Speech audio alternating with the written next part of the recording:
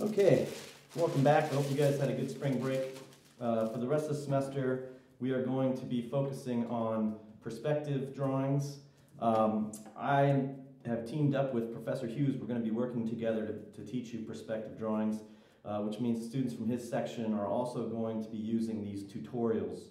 Um, obviously, there are probably going to be ways in which we differ in terms of the approach. Um, and so, uh, in order to get clarification about what you're meant to do, depending on what section you're in, um, you will receive emails from your individual instructor. Uh, either um, I or Professor Hughes will email our own sections and let them know exactly how to proceed. I'm going to try to keep these tutorials as simple and straightforward as possible so they really work for both sections.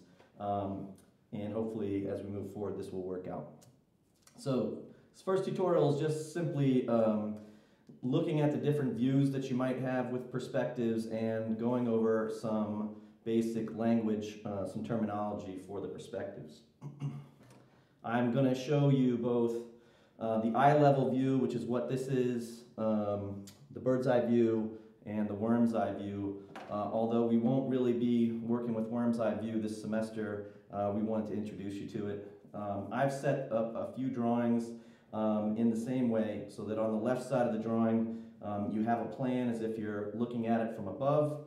Um, so you can see the relationship between where your eye view is and the objects that you're viewing towards the horizon. And I've set up a perspective that corresponds to that plan okay? In the eye view the way that it works is that you can see there's always a horizon line which uh, is that flat line, uh, if you're standing at the ocean uh, where everything kind of disappears, and you, you all know what that is.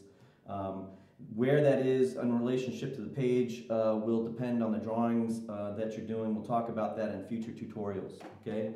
And then we also have a ground line, which uh, serves to give a base to whatever the object of your drawing happens to be. In this case, it's a wireframe box. You can see it here.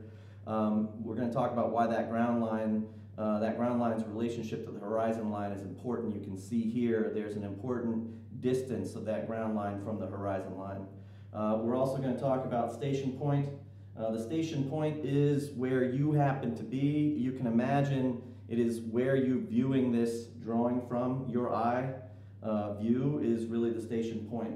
Um, the closer you place that station point or the further away you place that station point to the object of your drawing, uh, will change how large that drawing is on the page or how much of it, or how close you are to it or how far away.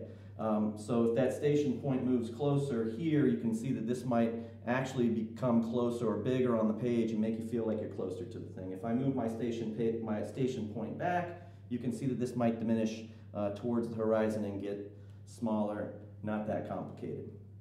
And then we're going to talk about center of view, um, and we're going to uh, talk about that because it's going to become important in the, the first uh, assignment that we give you this week, one point perspectives. In this case, the center of view is also the center of the object. It's just um, sort of coincidental at this point. I'm going to show you the next two drawings that actually move that center of view. The center of view is relative to the station point, the viewer, uh, not necessarily the object. And we'll talk about that in a minute. And you can see here we've got this wireframe box um, you're standing back here at a certain distance, and we've got another person to the right here for a reason. I want to correspond that to the perspective and talk about that, that ground line and why that's important.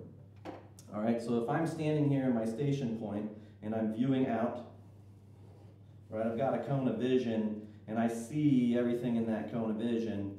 Uh, we're not going to necessarily talk about the mathematics of that today, but you can imagine I see all that. So here in the perspective, I'm, I'm back uh, where my eyes are and I can see this thing in the distance, some distance. This is not the scale. Uh, our assignment will be scaled. We'll talk about that in a future tutorial. But I can also see this person standing here. Uh, the important part about the distance of the ground line relative to the object is that we want to feel like we are viewing this thing at our own eye level. Uh, now, for most people, probably the average eye level is about five feet, but we're on the metric system, and so to keep things easy, I'm going to make that about two meters. So this is a fairly tall person. Um, but Doing it at two meters will make it easy for us to get through these tutorials and these drawings, but it'll also make you feel as if um, you're at eye level with the object that you're viewing. So you can imagine if this is two meters from the ground uh, to that person's eyes, the same is true for your eyes at the station point. You're viewing this thing from two meters above the ground as well. The ground continues out, and you're standing up seeing it at the same perspective point. Okay, and so the bulk of the object, or in the future tutorial, the building will be above the horizon, and less of it will be below the horizon. We want to make sure that whatever scale we're using, we're thinking about that eye level uh, being uh, the same distance from the ground line uh, as it would be in, in life. Okay?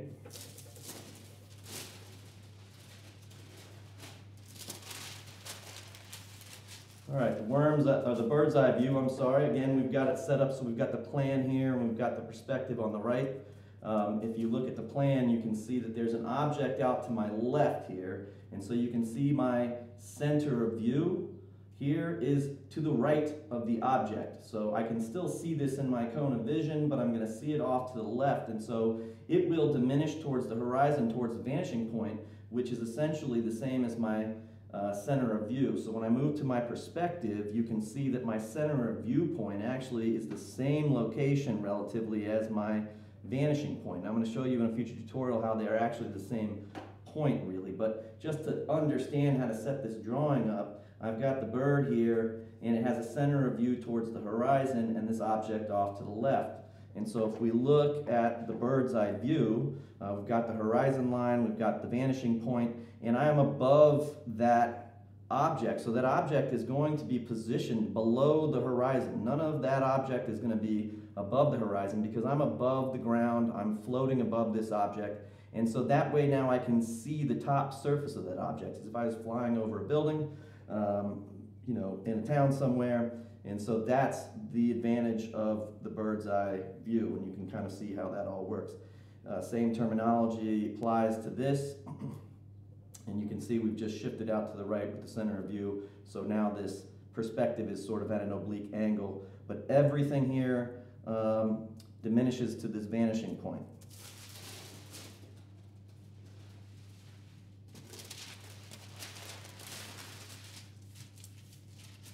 Right, the worm's eye view, similar to the bird's eye view. It's just uh, basically the opposite, except for the fact that in this case, we're going to be talking about being underground, which a lot of people uh, don't don't tend to get, but we'll talk about that in a second. So the plan of this again, um, the worm, which is under the ground in this case, um, is off to the left with the center of view, off to the left of the object. Um, and so the cone of vision will pull that object in the same way that I've done here. Now, a lot of people will think that um, this object is floating, but it's not. If you notice, the ground line is here. So you got to imagine that there's some kind of a plane of ground, and I'm actually underneath that plane of ground, uh, like a worm would be looking up. Now, in some cases, there are reasons why this would be an effective drawing to make. Uh, depends on the kind of thing that you're designing. We're not necessarily going to work with this uh, this semester, uh, but we wanted you to be familiar with it. All right, now we're going to move um, through one point and two point perspectives this semester. The ones I've just showed you are one point perspectives. And all the faces that are um, parallel uh, with the horizon line, uh, you can see are, are sort of flat and parallel to our view. And all the, um, all the faces that are perpendicular to that horizon lines are the ones that are going to be at that oblique angle vanishing uh, towards the vanishing point or diminishing towards the vanishing point. Uh, that's the difference between the one and the two point perspective is that all these faces that we view, um, these faces appear flat and regular to us. Um, it's not necessarily how we see things in real life, which is why the two point perspective, I think, is a better way to visualize architecture, but we'll get to that um, in, in a week, week and a half. Okay.